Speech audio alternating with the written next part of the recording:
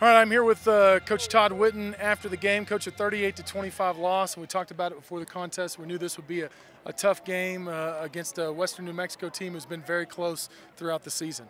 Yeah, there's no doubt they've got a good squad. Uh, they easily could have won more more games. Um, we had the two interceptions that basically were were. Uh, uh, touchdowns. We had the kickoff return, so we're not going to go on the road in this league and, and uh, be able to probably ever survive. So you know, we're really sputtering. We have really all year on offense, so we've got to figure out a way to uh, get some of that stuff fixed so we can figure out a way to get a little momentum there. But good win for Western New Mexico. They deserve it. Having said all that, with the mistakes, you still got in a position at 24 to 19 uh, to make a run at this contest. Talk about what happened from that point. Well, I'm just proud of our guys. They played really hard. Uh, they traveled well. They played hard. They, they did everything we've asked them to do. So I um, just couldn't be happier uh, we're just not we're not playing that well, particularly on the offensive side of the ball. I thought defensively we were just outstanding. Coach, thank you so much for the time.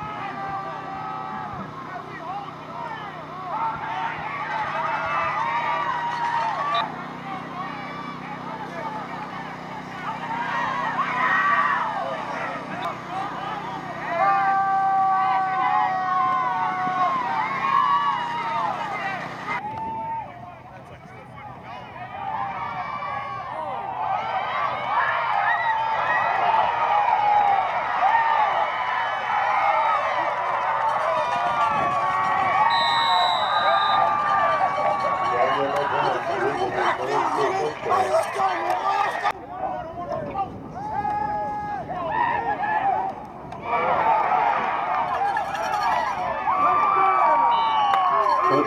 Oregon State, Michael High.